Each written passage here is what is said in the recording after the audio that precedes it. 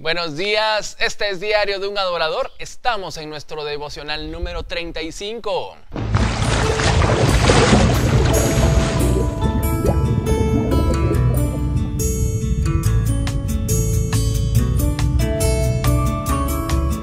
Qué lindo es comenzar el día y traerte este devocional. Espero, espero que tú también estés perseverando con todo en este camino para ser mejores adoradores. Hoy reflexionamos en lo que nos dice Génesis 37, verso 8. ¿Quieres decir que tú vas a ser nuestro rey y que nos vas a dominar?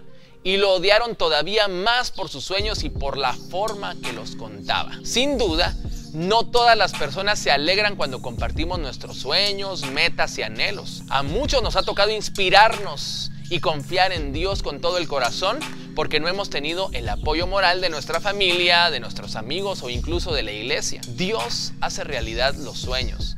Que el desánimo no nos derrote, confiemos en Dios, esperemos en Él. Mejor que nadie sabe cuál es el tiempo. Si somos fieles, en el momento oportuno Él moverá las piezas y abrirá las puertas. Seamos humildes, confiemos y reconozcamos que la gloria es para Dios porque Él lo hará. Y recuerda, Dios cree en que puedes alcanzar tus sueños.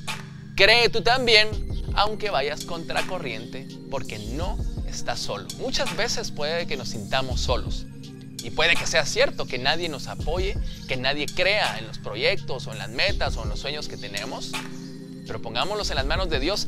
Días atrás lo mencionamos. Pongamos los sueños en las manos de Dios y Él hará conforme a su voluntad. Él se encargará de abrir las puertas si Él cree conveniente. Él moverá las cosas que sean necesarias para que su nombre sea glorificado a través de esas acciones. No nos afanemos, confiemos en Dios. Soy Julio Calo. Este es Diario de un Adorador, 365 días a solas con Dios. Estoy para servirte. Escríbeme, suscríbete al canal, dale like al video, deja tus comentarios y nos vemos mañana.